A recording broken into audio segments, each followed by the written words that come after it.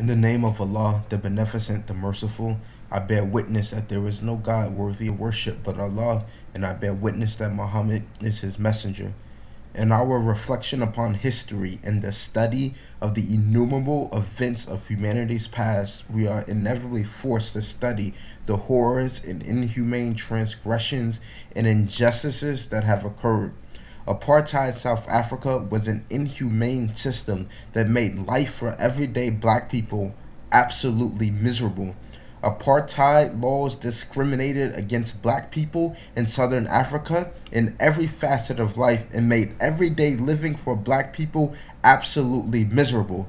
In fact, in the book Kaffir Boy, the true story of a black youth's coming of age in apartheid South Africa by Mark Mathabane he narrates a story of the injustices that occurred under that brutal regime. One day, an impoverished group of black people, so hungry and so desperate for food, in a white neighborhood, they begin searching the trash cans of white people just to be able to have something to eat. And they were utterly shocked by how much food white people wasted in these trash cans. One black woman commented, They eat well than white people. Another elderly black woman responded, They have everything and we have nothing. Under apartheid, black people had nothing and they were taught that they were nothing. Under apartheid, black people in the millions were imprisoned for a crime as simple as being unemployed. That's right. Under apartheid, it was a crime. It was illegal for black people to even be unemployed. Unemployment resulted in a prison system that then resulted in forced labor.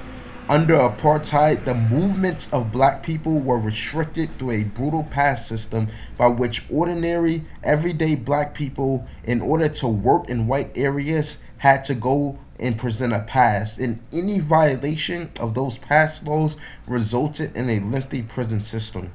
Allah says in the Quran in Surah Nisa to the believers, What is the matter with you that you fight not in the cause of Allah and for the oppressed among men, women, and children whose cry is, Our Lord, take us out of the city of oppressive people and appoint for us from yourself a protector and appoint for us from yourself a helper. Today I am here to discuss the life of an imam who heard the cries of black people as they were suffering under the tyranny of this apartheid regime, and who heard the cries of black people to be rescued from an oppressive regime, and who responded to those calls. His name was Imam Abdullah Haron, a Muslim freedom fighter who struggled against the apartheid regime to discuss the life of Imam Abdullah Haron as well as lessons that Muslims can learn from studying his life. I have with me Brother Khalid. Assalamu alaikum, brother. Salam Thank you for having me. Yeah, no problem. So, um, first, can you just tell us a little bit about yourself as well as your relationship with Imam Abdullah Haron? Yeah, so I um, I currently I live in Cape Town, South Africa, and uh, I grew up in London. I was born in London in 1975. My mother was is Cape Townian. She left in '68 uh, and went to London to study uh, because she couldn't study what she wanted to uh, over here because mm. she was considered um, what they call Malay, Cape Malay, or coloured Mm. You know, they were they were designated because of their color, as we know. So she left uh, to study to pursue her studies, and my dad left Libya um, after Gaddafi came into power. He couldn't go back because he was opposed to this new regime. Mm. So they were both kind of exiles of sorts uh, in London, and I grew up there with my siblings. Um, and uh, I always had a connection with Cape Town mm-hmm. um, and South Africa through my mum, and we visited a lot. And so in 2005, I left London to come and make a film. I studied film uh, and I was, training as a director in London. But I, I, I, left to make a film about Imam Abdullah Haron, who was my mother's father. Mm. So yeah, I was kind of like trying to find out about my grandfather beyond uh, beyond the myths around him and beyond the kind of just to find out who he was as a grandfather outside of him being this uh, martyr figure. Mm. And so I'm here. I'm still making films, and I completed that film six years after I arrived. Uh, yeah, and, and here I am. Thank you. So, what exactly was your grandfather known for? So, yeah, Imam Haron, if you come to Cape Town or if you talk to South African Muslims and you mention the Imam, right, he, he's known as the Imam because he, uh, he was born in 1923 Mm. and during, uh, during the mid century when apartheid was, you know, at its height, Mm. he was, uh, he became an Imam.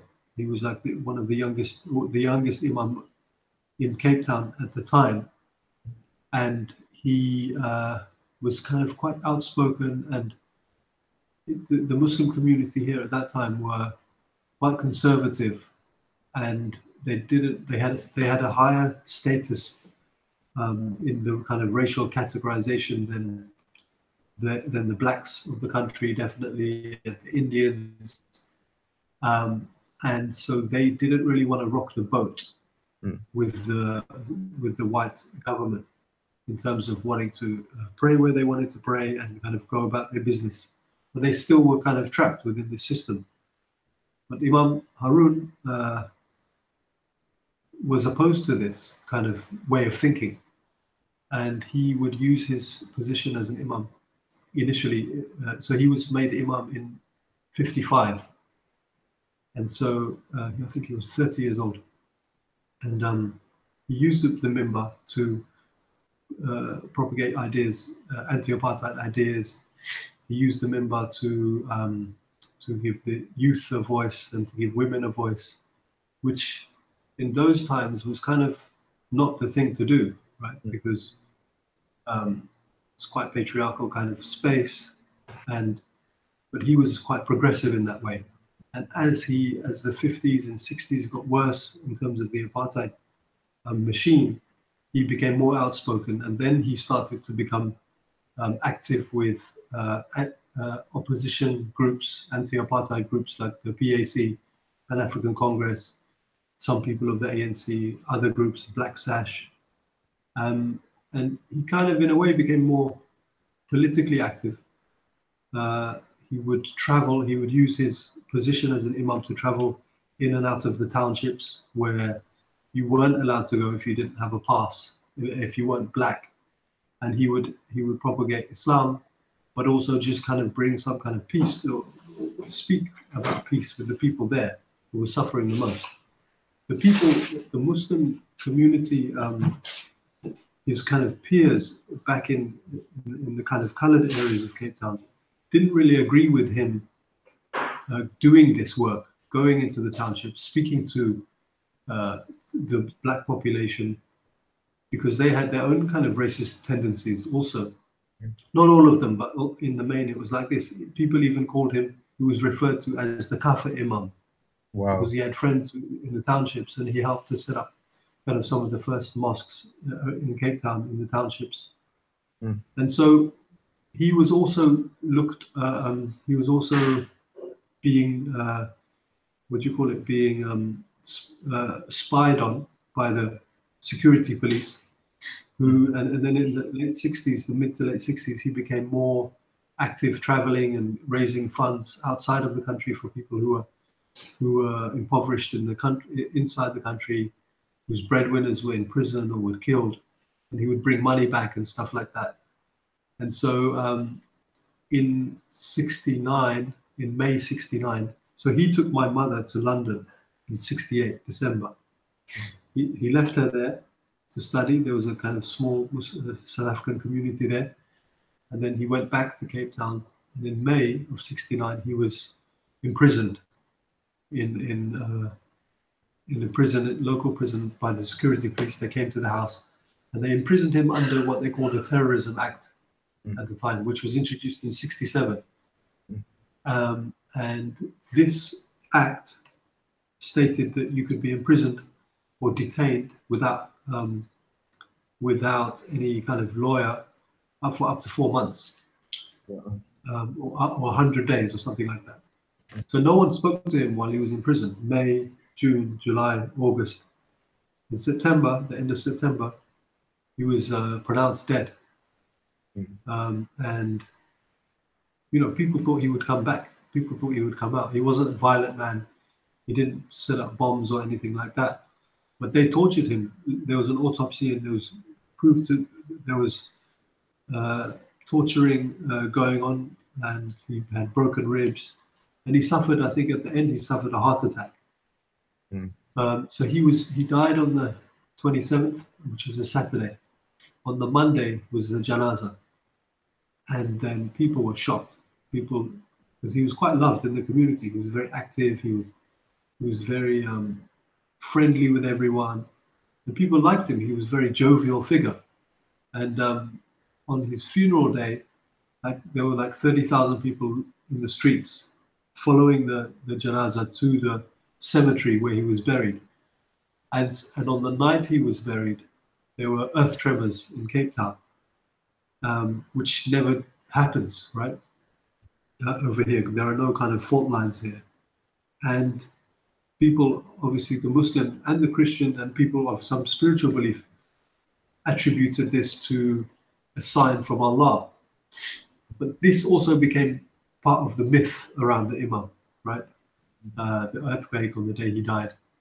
Since he died, he, he was killed in 69, and then he his kind of legacy and his the memory of the Imam and what he stood for and how he stood for it inspired the future generations of activists in, in the Western Cape mainly, and Muslims all around the country. So you have the 80s now where there are you know big uprisings happening, uh, lots of Muslims involved, where they had more of a voice than they did earlier, and he's kind of uh, he inspired, he left a strong legacy in that way. So now, if you come to Cape Town and you ask Muslims about the Imam, they're referring to him, Imam Haron.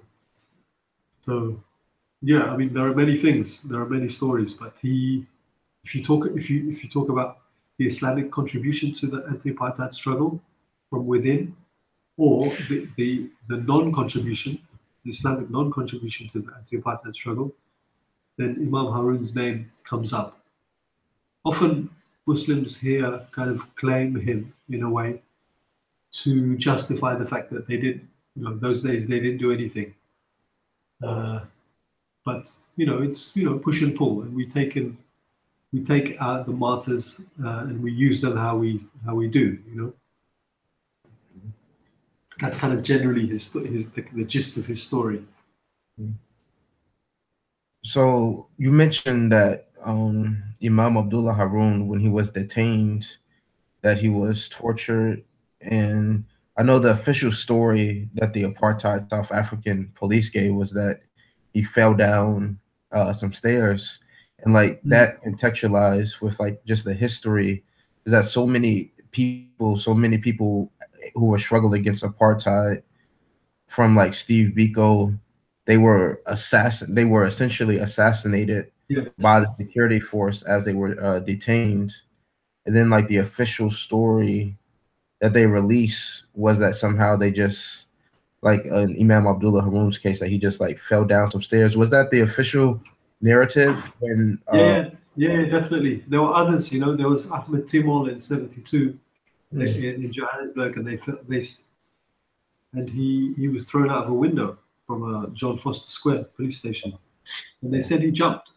You know, um, Imam Haron, yeah, they said he fell down the stairs. I went to the I went to the police station where he was pronounced dead, and I saw the steps. It's like three small steps. There's no way this kind of thing could have killed anyone.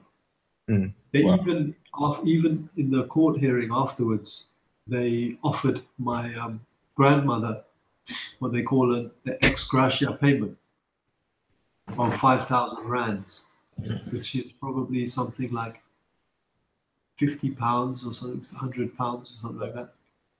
Uh, but this is like they offered her the payment as a, a compassionate payment, but it, it was an admission really, Mm. right? So this was the normal narrative that the fell down the stairs, he slipped on a bar of soap, he jumped out the window. These are that was the, the that was the how they did it back then. Mm. Another element of Imam Abdullah Haron's life, I know you mentioned how at the time the Muslim community were largely had apathy towards really joining the anti-apartheid struggle and Imam Abdullah Haron took a deviation from that apathy and began vocally speaking, you know, against apartheid as well as in his sermons, being a young imam and attracting other youth and empowering women to give them a voice. What do you think, particularly in Islam or you know in the Quran, that inspired Imam Abdullah Haron to recognize apartheid as an unjust system and to encourage Muslims to struggle against it? Yeah, well, I think I mean you know, any anyone who has a cursory look at Islam can see that one of the main things that it's about is to stand up against injustice, and I think mm. that's you know, any Muslim will be fooling themselves if they thought otherwise. I think, mm. I mean, during that time, you can't really, on one hand, you can't really fault the community for not doing anything because it was a tough situation. I mean, I could not imagine how it would be to live under those circumstances where you can't move, you can't say what you want to say, especially after the Imam was killed, right? Because mm. you would think it's going to happen to me. But I think with, with, with my grandfather, he had uh, a series of teachers in his early youth who mm. kind of inspired in him those ideas of uh, working against injustice. Remember, this is like he was uh, he was a young student in the late 20s, early 30s. This was around the time when uh, people like Hassan al Banna uh, were. It was kind of the breakup of the Ottoman Empire had just happened. Uh, nationalism was kind of rife in, in the Islamic world, and uh, there were there were some ulama, some scholars who were trying to work against that. Uh, people like Hassan al-Banna, people like Said Nursi even from Turkey. And I think some of those ideas came through and influenced him in a way to say, look, the political is personal, you know. And I think those are the things he took with him, as well as just being honest with himself, you know, and saying, look, this isn't right. We need to say something at least. We're not going to do anything, we need to say something. Mm-hmm. So, yeah, I think it was kind of always there, but just he had a series of teachers who highlighted it for him, mm. and just with his yeah, own kind of fitra, fitra sense, you know.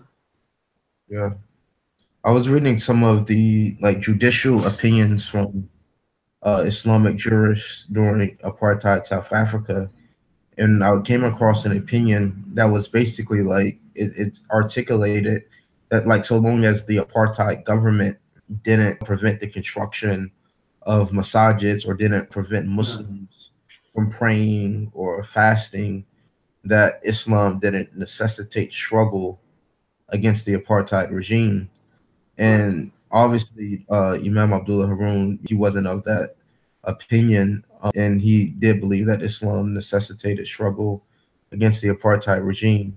So you mentioned some of his um, te- teachers or Islamic thinkers who he were influenced by. Can you elaborate upon that some more for me? Um, yes, I mean he went to he was sent to uh, Mecca to study his hifz and to study Quran, and just after, just before World War II broke out, he had to come back. So he didn't actually finish his Quranic studies. But um, I'll have to look up. While we're talking, I'll look for the name of his okay. teacher. Okay. But uh, I don't have it offhand right now. Okay. Um, but it was around that time. It was around that time when Islam, Islamic uh, ideas uh, mm. in the Middle East were becoming more political, right? Because mm. before that, there was kind of some kind of ummah that was trying, or in some way, holding things together. Uh, but then it became more of a political voice because of nationalism, because of the rise of, uh, you know, uh, maybe maybe capitalism in some way, but more like the end of the colonial period, you know, when there was some kind of window that these African countries would get their countries back. There was also like ideas of now how do we how do we then deal use that and deal with that. So I think a lot of the political ideas came strong during that time.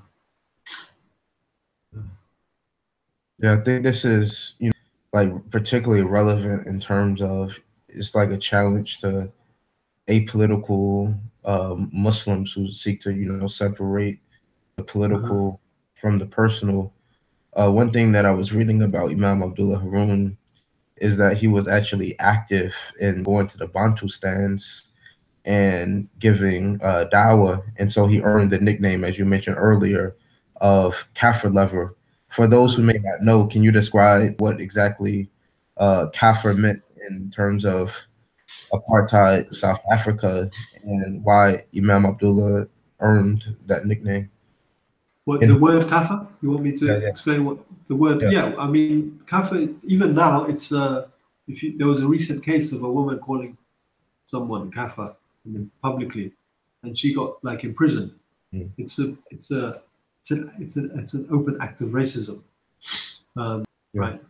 People don't don't even think about that the word kafir, uh, mention it to each other. Yeah. So um, it's kind of like yeah, it's it's not a word you use.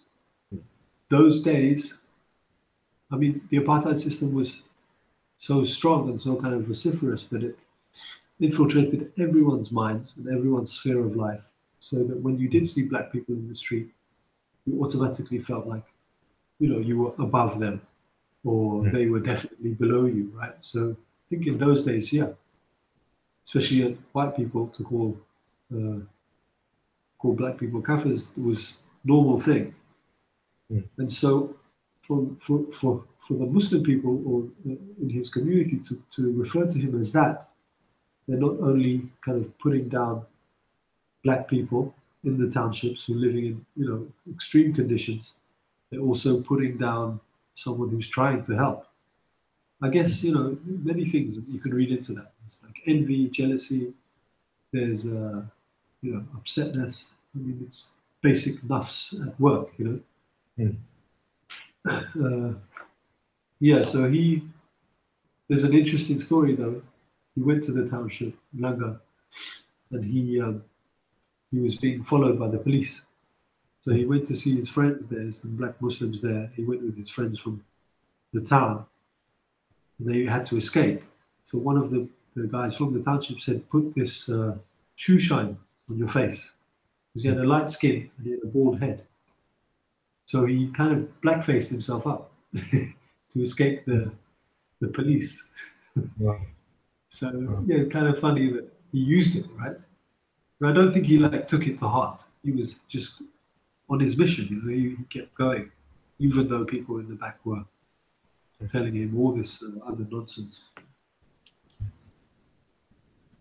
Are there any particular things that you think Muslims can learn from the life of Imam Abdullah Haron? Yeah, yeah, definitely. I mean,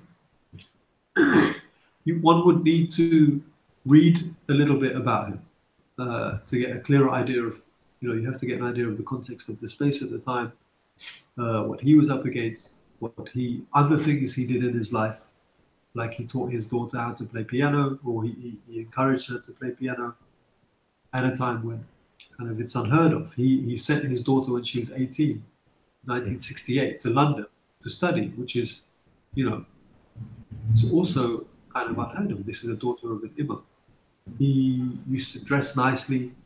He would, you know, dress stylishly. He was even voted in one newspaper at the time as the best dressed man in Cape Town. So he was into like looking good. He was into vanity, I guess, in a way. There are lots and lots of pictures of him. He didn't mind people taking pictures of him. He would talk to women. He would talk to people he didn't know, non-Muslims, Muslims. So beyond the, the whole kind of political aspect of his life and him being an imam, there was also this other side where he was uh, an open person, right? But still very, you know, he would fast twice a week throughout his whole life, right? Monday, Thursday. So he was quite strict uh, observant Muslim a spiritual man. He would go to the to the shrines of the sheikhs and make some dua or make some dhikr, uh, even while his friends waited in the car outside. Mm. So he would, and then he would go on his mission. He would go and try and help people. So if you read a little bit about him, understand the context of the space, maybe even if you see the film, how I kind of look at him in a way, then the lessons you learn are quite a few, quite a lot of lessons. But I think the main thing is just to be, or here is a man who was, in a way, true to himself and uh, true to teachings of Islam in a very open kind of progressive way. Um, and I think, yeah, we, I mean, look, if we get that from him in our lives, I think it's quite a lot. Where can people? What, what, did, what did you get from it, from from seeing the film or from reading about him? Yeah, so actually, um, a couple years ago, like I would say around three years ago, I took a course in my undergraduate uh, class, and I began just studying the history of apartheid South Africa just in just in general and just like the daily conditions that black people were dealt within apartheid South Africa, you know, the Bantustans, how black people needed a pass to go into white areas for work, how mm-hmm. black people could just be imprisoned and incarcerated just for not being employed, and how you had like so many uh, black people just in jail just because like they didn't have a job. And so yeah purely, you know, unjust, tyrannical system. And to hear that Muslims, that Muslims who, you know, are joined in the Quran to, you know, struggle against oppression and tyranny, that, you know, there was like a largely, um, you know, a very, you know, apathetic uh, response to challenging apartheid via, you know, the opinion of the Muslim Judicial Council. And so when I came across the life of Imam Abdullah Haron, you know, it, it really, really touched me because he was true to his conviction in terms of uh, challenging apartheid. He, as an imam, he was able to connect with, you know, the youth and he made he embodied Islamic principles of reaching out to the, you know, to the oppressed. He went to the uh, Bantustans in order to deliver uh, dawah. He didn't just stay in his area, but he reached out to you know the Bantustans, which were the most black people in the Bantustans were living under extreme conditions of poverty, of of displacement, and then his call for other Muslims and inspiring other Muslims uh, to challenge um, apartheid was was was something I found very very honorable and courageous.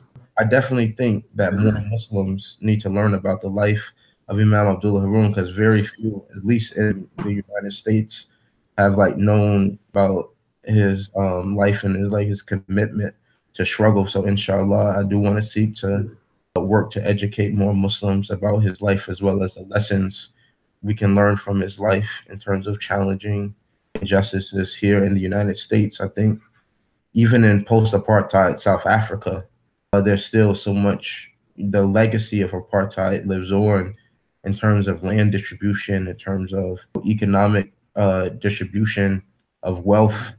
Uh, still, the wealth is largely in white control, the land largely under white control. And I think Muslims need to come back to you know the legacy of Imam Abdullah uh, Haron in terms of challenging contemporary, you know, the legacy of apartheid and the unjust injustices that apartheid still the legacy that it still has to this very day. Yeah, yeah, yeah, yeah, definitely. I mean, it's it's interesting you say that American Muslims should know about him because, yeah, I think when I started making the film, I came to the US mm. 2006 or five to I came to ISNA, the ISNA conference, mm. right?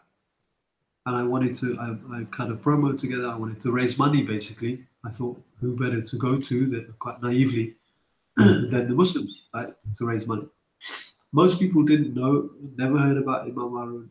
They were surprised I, I was even from, you know, South Africa, and they thought, what? I, I thought there were only black and white people there. Mm. And um, so there, there was generally, maybe still is, a lot of ignorance about Islam and its role in the country.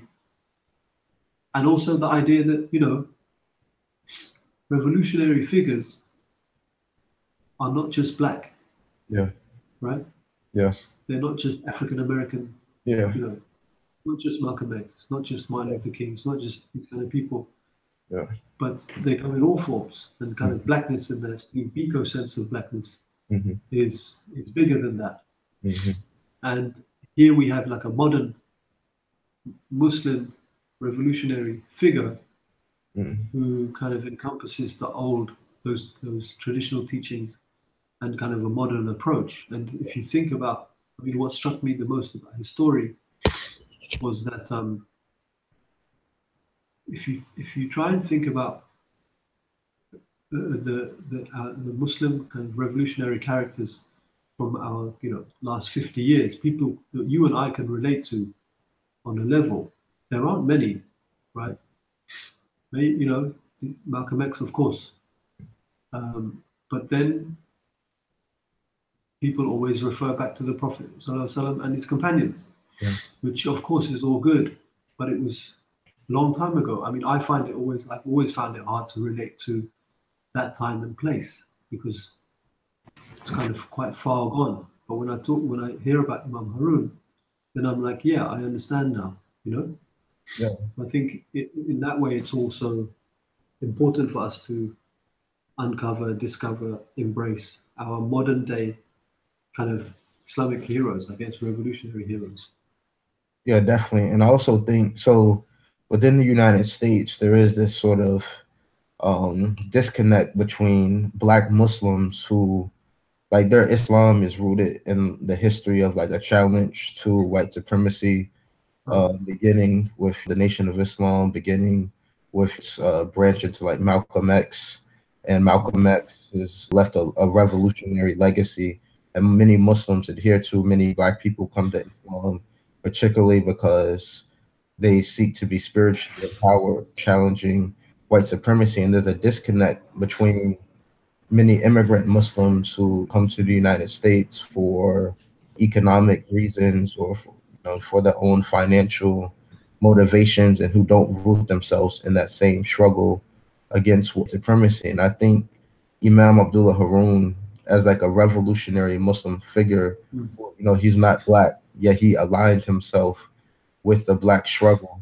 I think Mm. looking at his legacy as well as studying his life can begin to like motivate, you know, more Muslims to like solve that disconnect as well as as as well as for the unity of Muslims. Um as you said, you know, not all revolutionary figures or black. Like I, I never I don't recall a time in my life where like I never knew I I ever I ever did not know who Malcolm X was. Like I always like as a little kid, I always knew who Malcolm X was, and I always knew like what Malcolm X taught. But like Imam Abdullah Haron, know, I didn't know who who he was until uh, my college years, my undergraduate years. I mean, yeah, even me, you know, I grew up in London, Mm. and I, Malcolm X was always there. Was Yeah. foremost uh, in front of me. Yeah. And when I was making the film, even I was like, how can I make a connection here, right? Malcolm was in the '60s. Imam was killed in '69.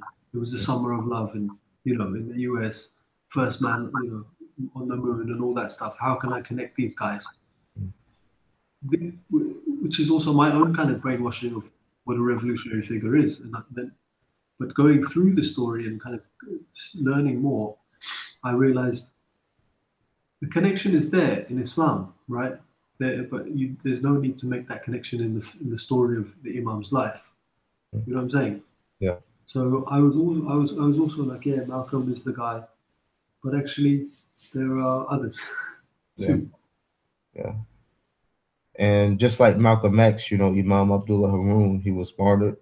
He was martyred for his beliefs and his conviction in Islam that I believe drove him to challenge apartheid in the same way that Islam inspired Malcolm X to challenge, you know, the oppression and racism against black people in the United States.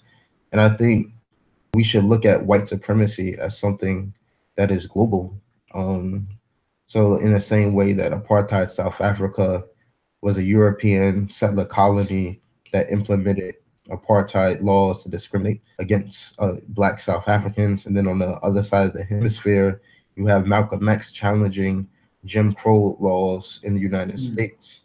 Uh, the way in which white supremacy as a political system seeks to elevate white white people, European descendant people, is something that Muslims have to be vocal and challenging. And I think Imam Abdullah Haron, his conviction in Islam, challenged him to challenge the white supremacy in his area, and I think other Muslims can uh, begin to learn from that as well. Yeah, definitely. I mean, white supremacy. If you want to talk about it, like apartheid was the height of that, you know. Yeah. And it happens all, and it would happen in India when the English were there, you know. Yeah. Um, so when you say, when you have these ideas of Black Lives Matter, then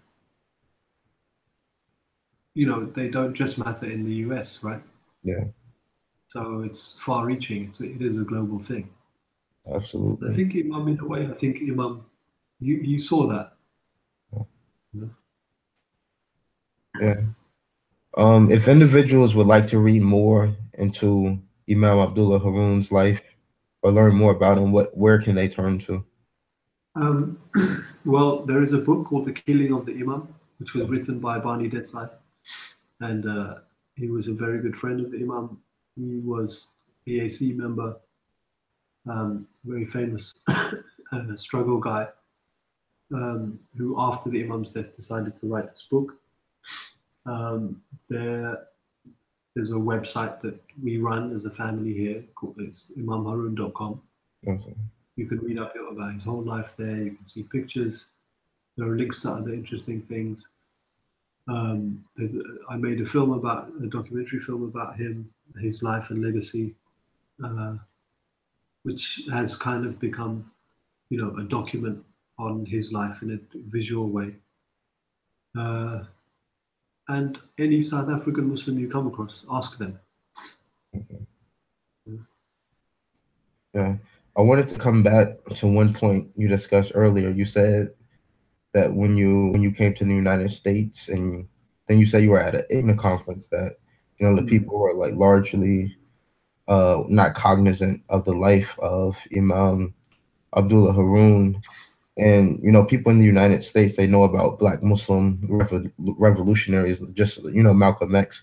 But the way that malcolm x is talked about is often he's often like stripped he's like almost like tokenized in the sense that they like talk about his life in a way that's detached from the black freedom struggle really just upheld as like this token but like mm.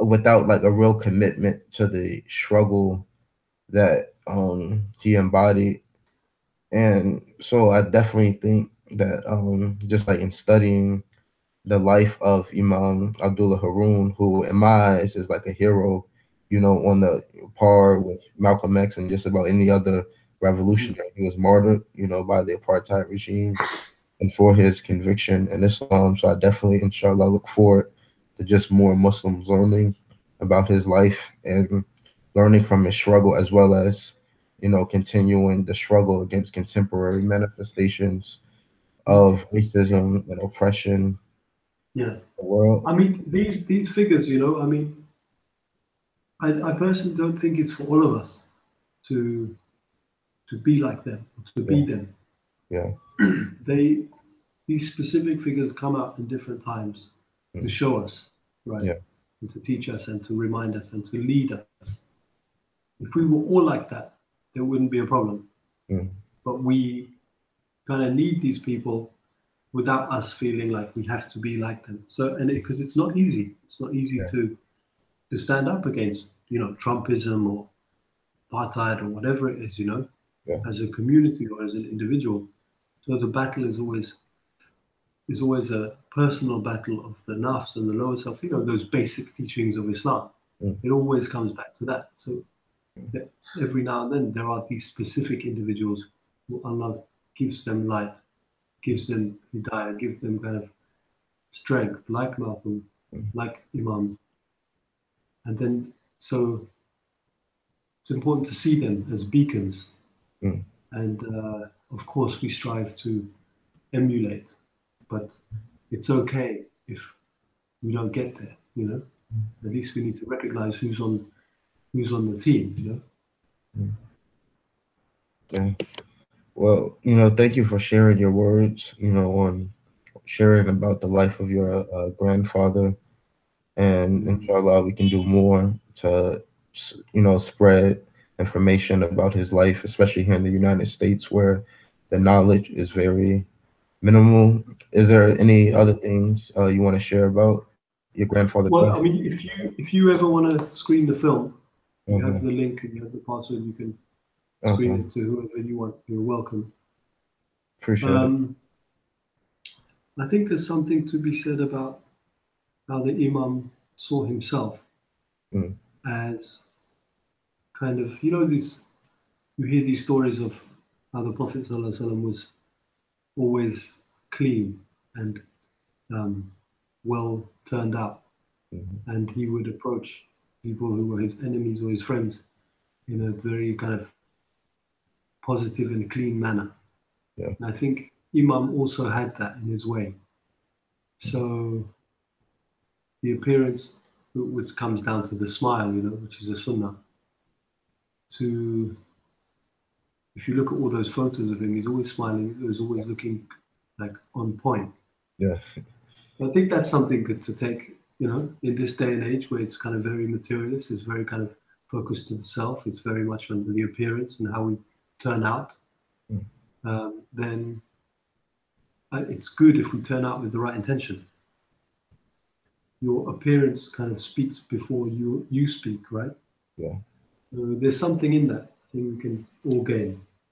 Because I don't know, I don't know many people. I'm definitely not beyond my ego, you know. So, if, if yeah, kind of take that. Right. Well, uh, thank you for joining me for this discussion. Inshallah, the Muslims can learn from Imam Abdullah Haron's life, and we can help to uh, work continue his legacy. Okay, shukran. So, in closing, as I begin to read the story of Imam Haron, what saddened me the most was not the brutal actions that the apartheid regime took against him, but the fact that Haron was ostracized by his own Muslim community. After Imam Haron's assassination, the historian Ursula Gother writes that Haron, Imam Haron became virtually forgotten by Muslims. Indeed, many were so concerned by white perception that many of the scholars of the Muslim Judicial Council saw Imam Haron as an embarrassment. In light of this, I elected to write a letter to Imam Haron to tell him what I wish I could tell him had he been alive. The letter reads Assalamu alaikum, my beloved brother in Islam. Though Muslims in masses, including those considered scholars of this deen, shun and condemn you, you are my Imam. You are my Imam because you heeded the call of Allah to be persistently standing firm for justice and you died bearing witness to the truth of Islam. You are my Imam because you understood that Islam is not a religion for cowards, nor for those who capitulate to oppressors. I am sincerely sorry that your own Muslim community at times shunned and forgot you, but you, your reward is with Allah, and I pray that Allah grants you the highest levels of Jannah. You gave up your life to see that apartheid fell. I ummah, this ummah of Muhammad sallallahu alaihi wasallam, is desperately in need of revolutionary imams who recognize that our, like you did, that our prophet peace be upon him was a revolutionary, and we have a duty to struggle against oppression and tyranny wherever it is found. في سبيل الله والمستضعفين من الرجال والنساء من الرجال والنساء والولدان الذين يقولون ربنا أخرجنا من هذه القرية من هذه القرية الظالم أهلها واجعل لنا من لدنك وليا من لدنك وليا واجعل لنا من لدنك نصيرا What is the matter with you that you fight not in the cause of Allah and for the oppressed among men, women, and children, whose cry is, Our Lord, take us out of the city of oppressive people and appoint for us yourself a protector and appoint for us from yourself a helper.